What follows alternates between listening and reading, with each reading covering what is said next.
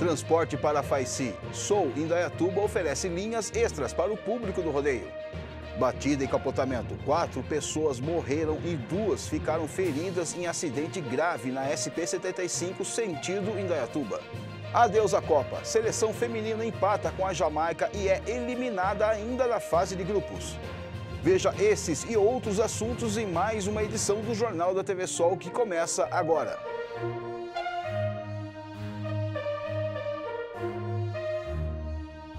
Toda família precisa de um espaço para ter uma vida tranquila e saudável. E por isso a OC cresce melhor a cada dia. Um exemplo disso é o nosso pronto atendimento que passou a atender no novo prédio do hospital, muito maior e com ainda mais recursos para atender você e sua família com qualidade, ampliando a capacidade de atendimento em Indaiatuba. Novo pronto atendimento à OC. Mais espaço e estrutura para cuidar de você e de sua família.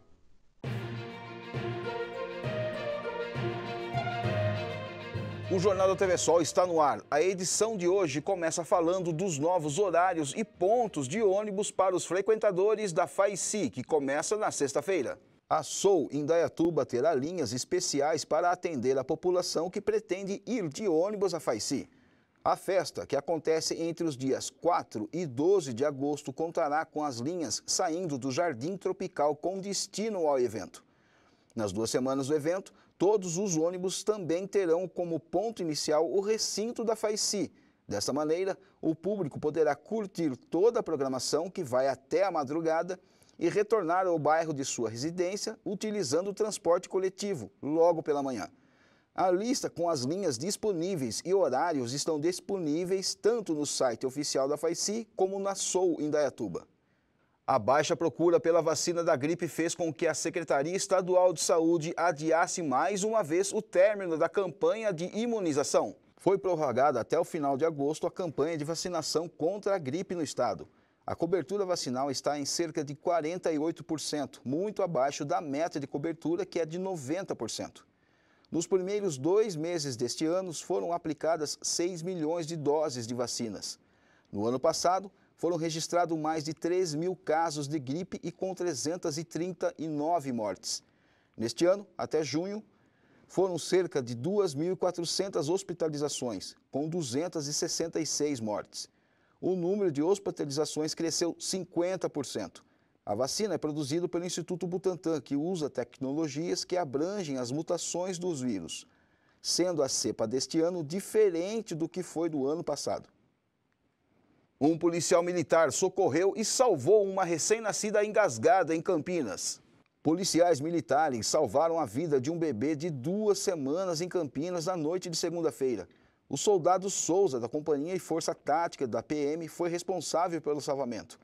O bebê tinha mamado e estava dormindo quando engasgou. A mãe conta que chamou a polícia e foi rapidamente atendida. O policial conta que foi a primeira vez que usou as técnicas em 10 anos de corporação. O bebê foi encaminhado ao hospital Beneficência Portuguesa, onde foi atendida e liberada. Depois do intervalo, voltaremos com outras notícias. A nossa pausa é bem rápida. Não saia daí.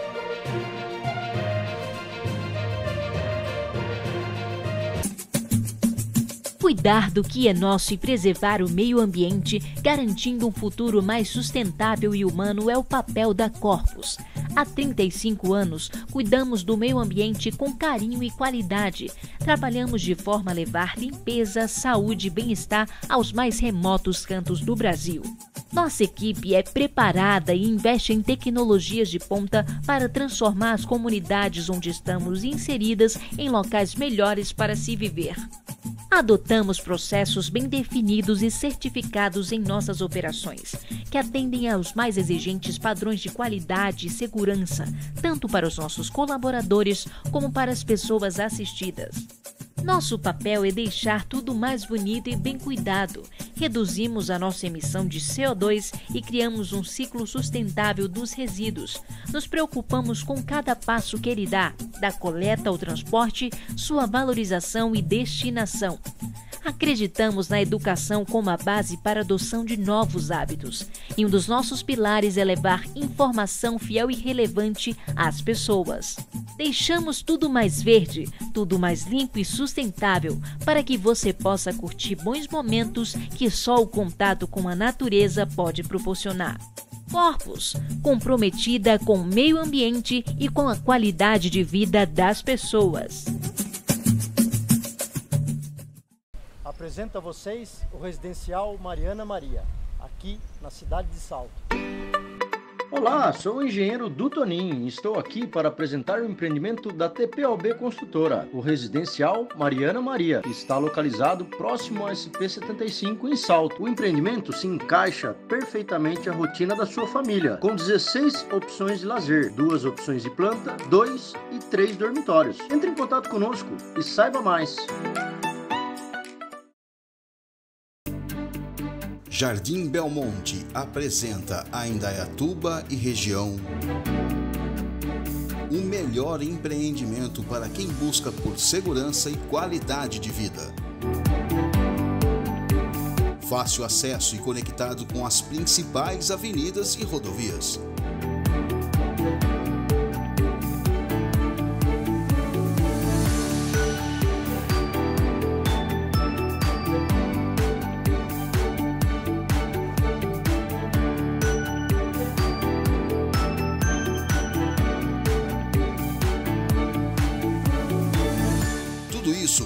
Estar perto de tudo que você precisa.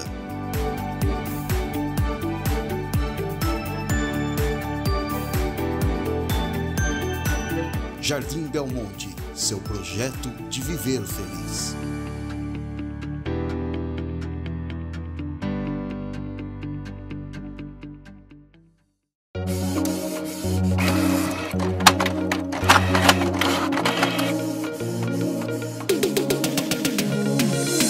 Delicia faz cópias em diversos formatos, desde RG até plotagens de projetos arquitetônicos e industriais.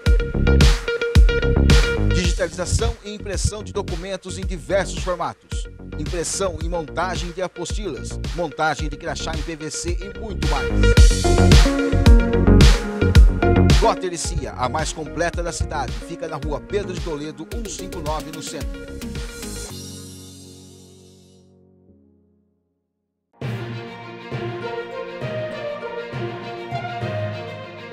Jornal da TV Sol está de volta. Dos cinco ocupantes do carro, quatro morreram após capotarem na rodovia sentido Indaiatuba. Quatro homens morreram em um acidente na rodovia SP-75 na madrugada de terça-feira. Eles estavam em um carro vindo de Campinas para Indaiatuba quando perderam o controle do veículo, invadiram a pista contrária, bateram em um outro veículo e capotaram. Havia cinco pessoas no carro.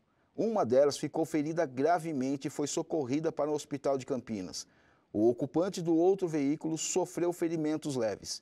Segundo a Polícia Militar Rodoviária, havia bebida no carro e o acidente foi registrado no quilômetro 75. Chegou a hora do nosso giro de notícias.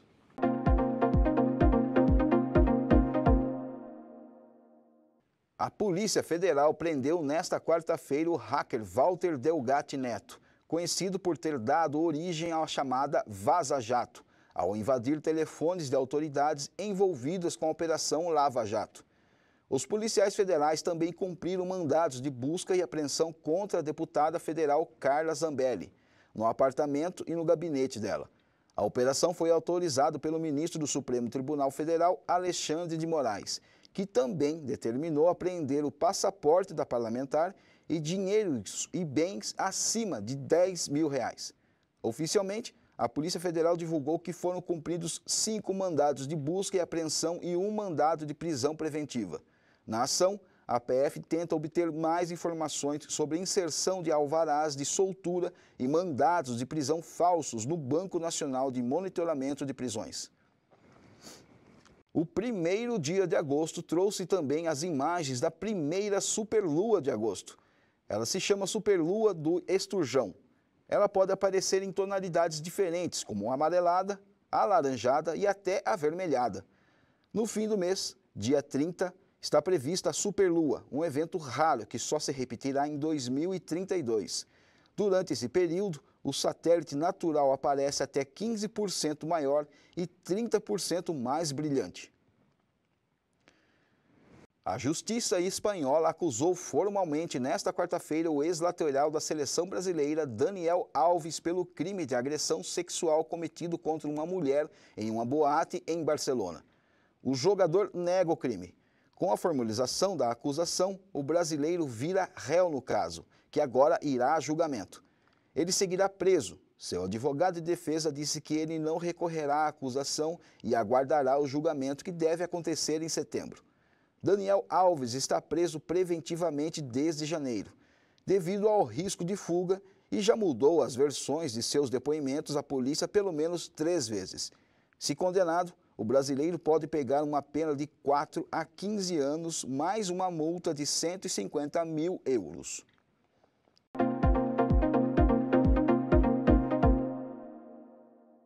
O Jornal da TV Sol vai para mais um intervalo. Voltamos já já.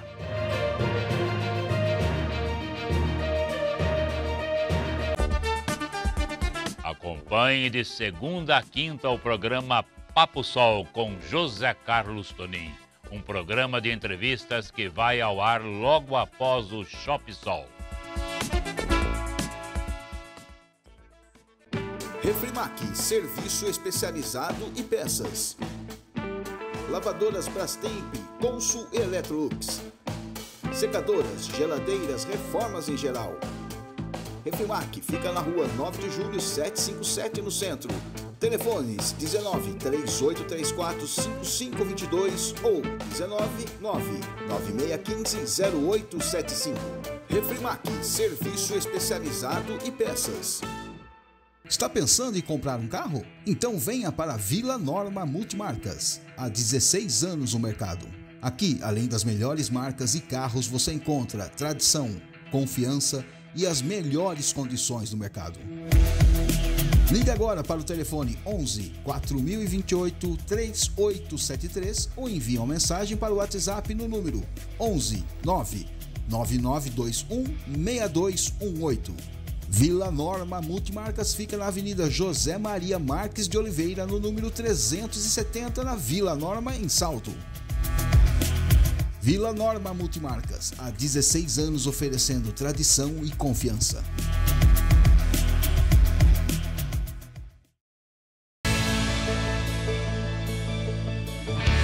José Carlos Tonin Empreendimentos e Obras, Projetos e Construções. Fez os primeiros edifícios de Indaiatuba com mais de 5 mil obras já executadas, projeta e constrói desde edícula até grandes edifícios. José Carlos Toninho Empreendimentos e Obras. Há 50 anos realizando sonhos para Indaiatuba e região.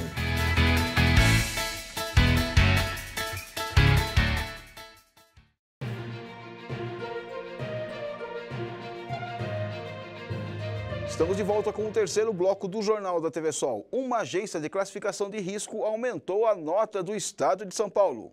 A Fitch Ratings, uma das principais agências de classificação de risco do mundo, elevou o status do estado de São Paulo de BB- para BB, perspectiva estável.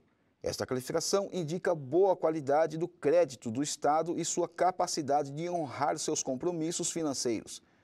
De acordo com a Fitch, um dos fatores que ajudou o Estado a melhorar foi o perfil do crédito individual por conta das condições de sua dívida com a União, que são mais flexíveis que a uma da dívida tradicional. Dívidas mais saudáveis possibilitam maior capacidade de pagamento e, portanto, a melhora no índice de inadimplência. Fique por dentro das vagas de empregos disponibilizadas no Pátio Indaiatuba as vagas de emprego disponibilizadas no PAT em Dayatuba. Mais de 170 vagas de trabalho estão disponíveis no PAT em Dayatuba. As oportunidades abrangem todos os níveis de formação, desde o ensino fundamental incompleto até o ensino superior completo. Ajudante de cozinha, auxiliar de limpeza, auxiliar de produção, auxiliar de pedreiro, cozinheiro, encanador, jardineiro, pedreiro, pizzaiolo e ajudante de pizzaiolo, tapeceiro oficial de serviços gerais. Há vagas também para açougueiro e ajudante de açougueiro, ajudante de carga e descarga de mercadorias, ajudante de pintor, auxiliar de linha de produção, balconista, camareira, chapeiro, conferente de carga e descarga de mercadoria, operador de caixa, pintor de edifícios e pintor de obras, torneiro mecânico e tratoristas. Estão disponíveis também trabalhos de caldeireiro, assistente de vendas, apontador de obras, eletrotécnico, estoquista, fiscal de loja, fiscal de prevenção de perdas, fresador, operador de máquinas, porteiro, promotor de vendas, vidraceiro, vigilante, soldador, repositor de mercadorias niquelador, analista, auxiliar de logística, desenhista técnico mecânico, assistente de vendas, mecânico montador, soldador mecânico, técnico mecânico, técnico em fibras óticas, técnico em segurança do trabalho e nutricionista. Veja agora no nosso giro as informações sobre a Feira Livre, Operação Catabagulho e também informações sobre o início da FAICI 2023.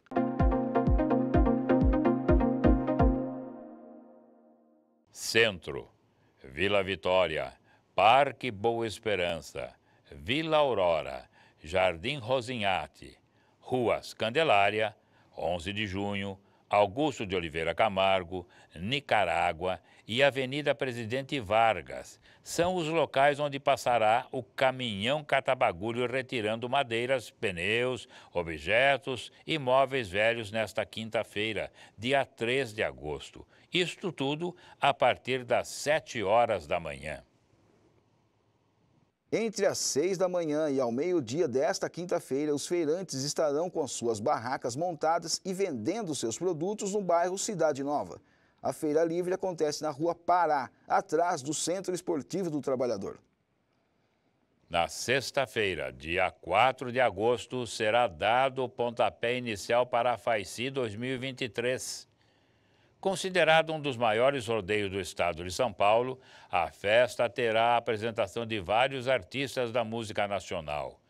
O evento, que começa neste final de semana, vai até o dia 12 de agosto e promete reunir um grande público na cidade de Indaiatuba e de toda a região. Além dos shows, a festa do peão não poderia faltar rodeio de touros e cavalos. Os ingressos podem ser comprados no site do evento www.faici.com ou no ponto de venda físico localizado no Shopping Jaraguá.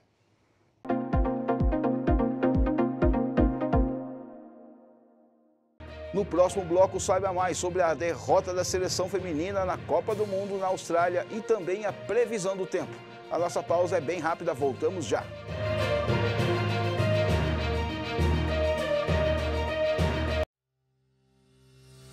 Olá pessoal, eu sou Maurício Baroni, presidente do consórcio Consimares, consórcio da região metropolitana de Campinas, que ajuda os municípios a fazerem a gestão, manejo e destinação correta dos resíduos sólidos.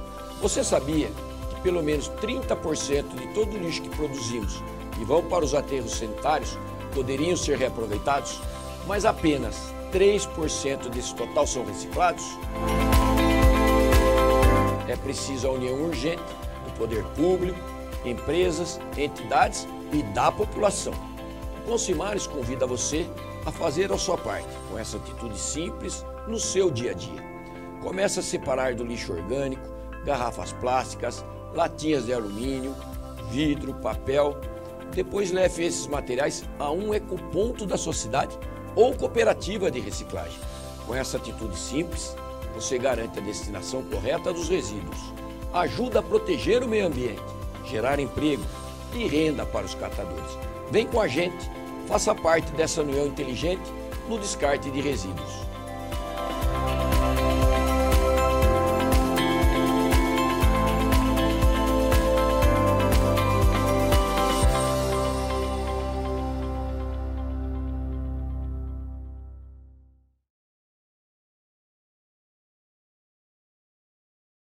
Se você está procurando mármore, conheça o catálogo da Essencial. Aqui você encontra peças para bancadas de cozinha, pisos, paredes e decoração.